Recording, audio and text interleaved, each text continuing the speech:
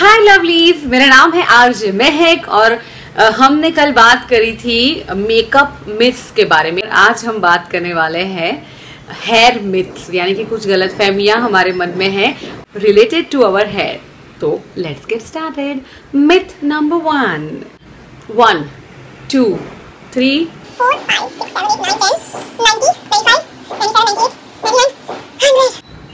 Hundred times hair comb करने से हमारे हेयर बड़े ही शाइनी बाउंसी एंड हेल्थी रहते हैं। ये सबसे बड़ा मिथ है। कितना खींचेंगे, कितने टैंगल होंगे, कितने डी टैंगल होंगे। आप 10-15 बार थोड़ा थोड़ा अगर कोम करेंगे, थोड़ा आपको अच्छा लगाने के लिए कि स्कैल्प से जो कुछ डर्ट है या मिट्टी लगी हुई है तो वो शायद क्लीन हो जाए एंड ब्लड सर्कुलेशन थोड़ा सा बढ़ जाता है। लेकिन किसी के अच्छे है उसका मतलब ये नहीं है कि वो दिन में बस यही करता रहेगा, करती रहेगी। Myth number two grey hair या फिर वाइट हेयर को अगर हमने तोड़ा, वही माँ, नहीं कर सकते हैं, महक। और उसके अगल बगल वाले जो हेयर है ना, वो भी कभी तो वाइट हो गए। तो हमारे बॉडी में मेलेनिन नाम का एक जो तत्व होता है, उसकी वजह से हमारी स्किन का भी जो कलर है, या हमारी हेयर का कलर मेलेनिन की वजह से होता है। और जैसे जैसे हमारी एज बढ़ती है, वो मेलेनिन कम होने लगता है। इसीलिए हमारे हेयर है वो ग्रे और धीरे धीरे वाइट होने लगते हैं। तो एक हेयर तोड़ा और उसमें से कुछ ऐसा नहीं निकलने वाला है लिक्विड की, वो और बालों को भी सफ़ेद कर दे। मतलब ये तो सफ़ेद झूठ हो गया। मिथ नंबर जो थ्री है, अगर आप आपके हेयर को शेव कर देते हैं तो और अच्छा ग्रोथ आएगा और अच्छे बाल आएँगे, ये शायद कहीं गलत फहमी है।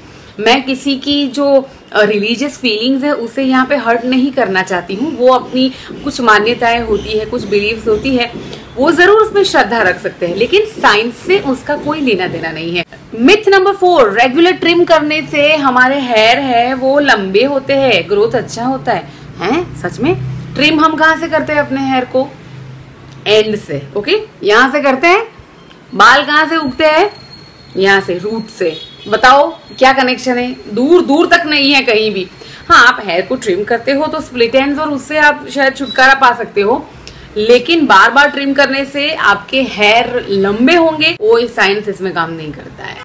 स्प्लिट एंड्स दो मुंहे जो बाल होते हैं ना महक वो वाला शैम्पू आता है ना, अरे वो वाला सीरम है ना फला फला कंपनी का, अरे वो कंडीशनर बहुत अच्छा है, उससे स्प्लिट एंड सच में एकदम क्योर हो जाते हैं। I am extremely sorry to say कोई भी ऐसा शैम्पू है या कोई भी ऐसा कंडीशनर या सिरम नहीं है जो आपके स्प्लिट एंड्स को एकदम से रिपेयर कर दे, सही कर दे, उसका एक ही इलाज है स्प्लिट एंड्स का, वो ये है कि आप थोड़े थोड़े बाल लीजिए। अगर आप पार्लर में जाके करवा सकते हैं तो भी बेस्ट है।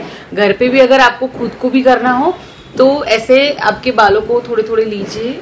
उसे ऐसे ऐसे करोगे ना तो आपके वो स्प्लिट एंड वाले बाल बाहर आ जाएँगे और सिंपली आपको कैंची से उसे कट करना है। मिथ नंबर सिक्स ये है कि जिनका स्कैल्प ऑयली होता है, वो कंडीशनर नहीं कर सकते। मैं क्या हाल होगा हमारे स्कैल्प का?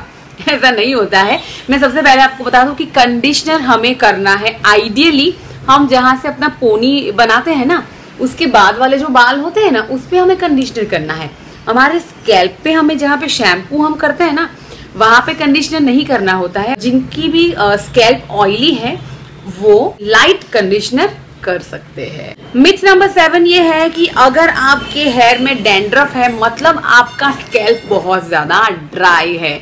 लेकिन इसका ऑपोजिट है। आपका जो स्कैल्प है, वो बहुत ज़्यादा ऑयली है। बहुत ज़्यादा तेल डालते हो, फिर धूल मिट्टी वाले एरियाज़ में आपको हर रोज जाना पड़ता है। आपके स्कैल्प को ब्रीद करने का मौका नहीं मिलता है, क्योंकि ऊपर धूल मिट्टी का लेयर है, पसीने का लेयर है, और आप तेल डालते ही जा रहे हो, रोज डालते जा रहे हो। तो कुछ ऐसी वजहों से आपको डेंड्रफ हो सकता है। अगर आपको डेंड्रफ है, मैं आपको एक हैंडी तरीका बताती हूँ कोकोनट ऑयल ले लीजिए आप, ठीक है?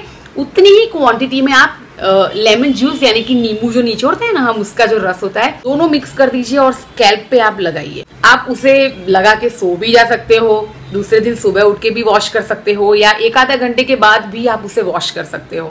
वीक में मिनिमम आप दो बार कीजिए और रिज़ल्ट मिलेगा तो मुझे याद कीजिएगा। मिथ नंबर एट ये है कि एक्चुअली हमारी इंडियन मेंटालिटी है।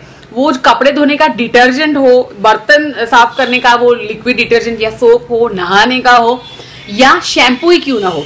हमारे मन में एक बात घर कर गई है कि जिसका बड़ा बड़ा झाग होता हो, जिससे बड़ा सा फोम होता हो लेदर जिसका होता है ना, वही शैम्पू सबसे अच्छा है। जितना झाग ज़्यादा निकलेगा फोम ज़्यादा बनेगा, उसका मतलब है कि आपके साबुन में या आपके शैम्पू में डिटर्जेंट का जो लेवल है केमिकल का लेवल है, वो कुछ ज़्यादा ही इस्तेमाल किया गया है। इतना नेचुरल चीज़ों से आप वॉश करेंगे ना आपके हेयर को तो कभी ऐसे बबल्स नहीं निकलते। जैसे आपने बटर मिल्क यानी कि छाछ और मुल्तानी मिट्टी को मिक्स करके पहले के जमाने में लोग हेयर वॉश किया करते थे। तब थोड़े ना फैंसी शैम्पू हुआ करते थे तो थोड़ा ना उसमें कोई ऐसा झाग होता था, लेकिन बाल कितने अच्छे साफ़ होते थे। मिथ नंबर नाइन ये है कि बियर से हेयर वॉश करने पर हमारे हेयर है ना महक कितने ज़्यादा सिल्की इतने ज़्यादा शाइनी हो जाते हैं।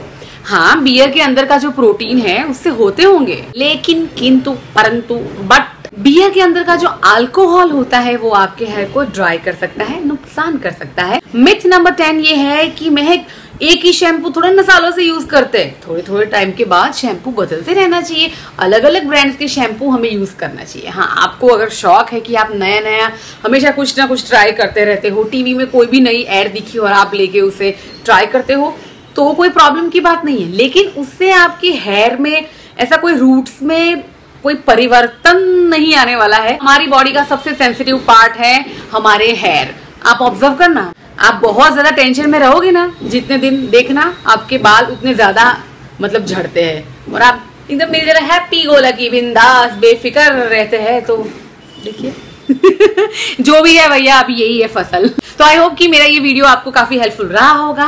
और अगर रहा है तो प्लीज़ आपकी कमेंट के ज़रिए मुझे सजेशन भेजते रहेगा ये मेरा चैनल अच्छा लगता है तो प्लीज़ प्लीज़ प्लीज़ मेरे चैनल को सब्सक्राइब कीजिएगा। So thanks for watching my video bye bye lovelies